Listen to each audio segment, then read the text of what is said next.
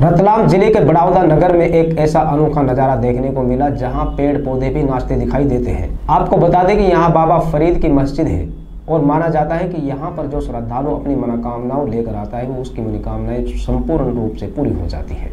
इसे हिंदू, मुस्लिम एकता का प्रतीक भी माना जाता है। अट्ठाईस साल मर चुका था। तो बाबा साहब मेहरबानी से भी ज़िंदा हुआ यहाँ पे वो बहुत ऊँची हस्ती है और हमारा तो पूरा परिवार ही करीब जुड़ा हुआ है, काफ़ी समय से। क्या मान्यता लगी आपको? यहाँ के अरे यहाँ के बाबा की तो मान्यता पूछे मत जितनी तारीफ़ करो उतनी कम है।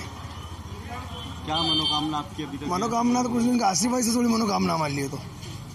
इनका आशीर्वाद से सब काम और हो रहा है बढ़िया। जो मन की मनोकामना सब पूरी होती है पूरी होती है। हाँ। कितने सालों से जुड़े हैं यहाँ से कितना ज़िंदगी हो गई हमको जुड़े हुए परिवार से। मोहम्मद इरफान हम यहाँ के खादी में यहाँ की देख रेख यहाँ की खिदमत करते हैं सरकार के यहाँ।